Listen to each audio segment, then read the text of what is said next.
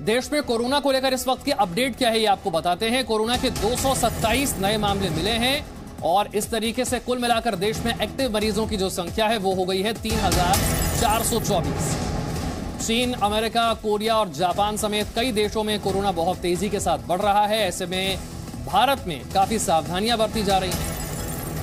पिछले 24 घंटे की बात करें तो 227 नए केस सामने आए हैं और एक्टिव मरीजों की संख्या यानी कि जिनका इलाज अभी चल रहा है उनकी संख्या हो गई है तीन हज़ार चार सौ चौबीस।